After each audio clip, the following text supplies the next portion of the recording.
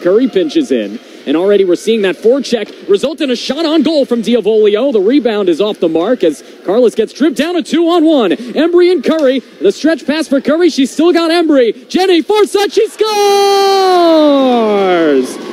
Kristen Embry tic tac toe, and she delivers for UMass Boston for number 24 in white. It's her fourth of the season on the assist from Curry. Her fifth of the year. It's 1 0 UMass Boston. Fantastic transition Spring play. as she motors into the attacking zone. However, Hope did not spring eternal there as it's poked out. An opportunity, two on and one for the Beacon, shorthanded, and a great play by Diavolio, but they score! Kayla Smith gets the goal despite the effort from Diavolio defensively.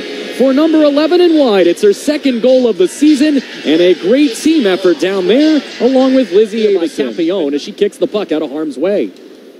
Backhanded feed there's off the mark as that one hit the side of the net from the stick of Danielle Fallon. Sent right into the slot for Johnson, who came careening it. She scores! What a high rising shot from point blank range, and a beautiful blast from the senior Shelby Johnson.